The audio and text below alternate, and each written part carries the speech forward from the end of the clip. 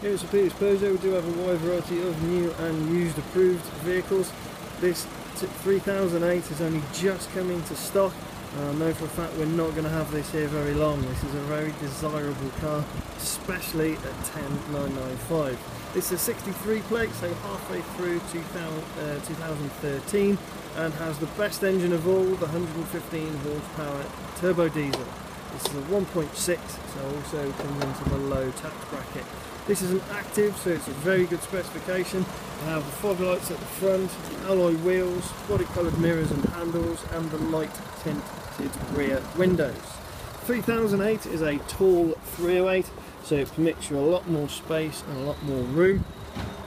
This one here with the 3008, what a lot of people know and love is its versatile boot.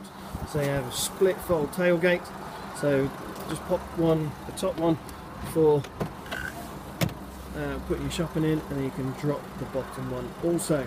There are two handles at the side there. When you pull those, drop the seats down completely so you can almost have it like a van.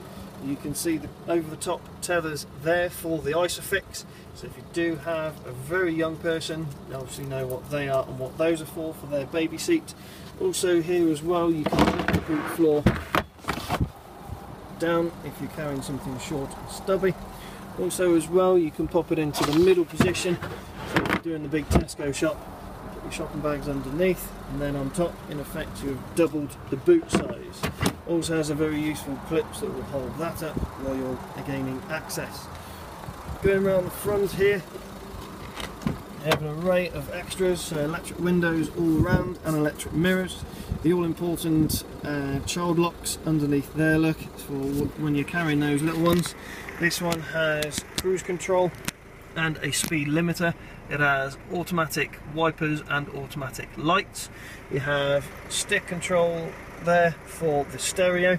Speaking of which, you have an AM, FM, CD head unit, and then underneath the armrest here, hidden away, will be the USB and auxiliary port.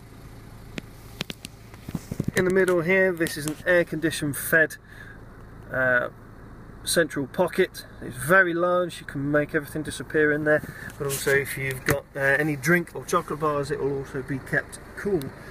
This is a very low mileage example. As you can see here, it's done only 23 and a half thousand miles.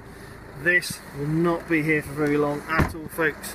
If you want to bag yourself a bargain and a fantastic car to boot, you need to come down to St Peter's Peugeot as soon as possible. I'm Jonathan, thank you for viewing.